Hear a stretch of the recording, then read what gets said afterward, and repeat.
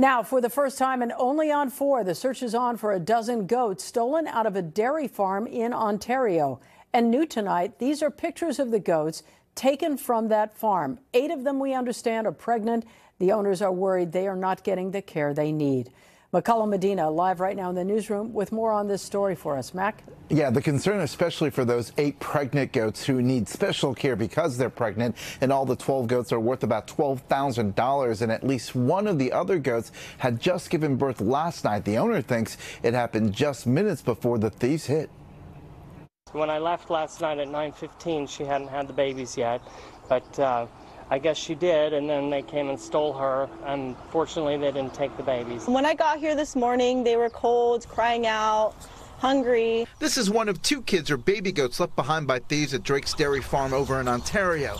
The owner says their mother, Zenaida, was among a dozen goat napped last night. They even took one goat that's sick. She needs dextrose IV, um, but I, she won't get that from the thieves, probably. They probably dragged her out of here. Dr. Daniel Drake says the thieves broke through the front gate and made off with a total of 12 goats, eight of which were expecting soon. Those need special care because they need they're going to have babies, so they're you know, they need to be resting. It's not a good time to move them. Drake says he doesn't know who might have been behind the heist. Surveillance video did not capture an image of the thieves, but just the headlights of the suspected getaway car. The small dairy farm has just about 500 goats that they use to make cheese, lotion, and soap to sell at local farmers markets. The theft is being felt hard. Do you feel violated? Yeah, really violated, and you just yeah, I don't know. I want to give up. I, it's not.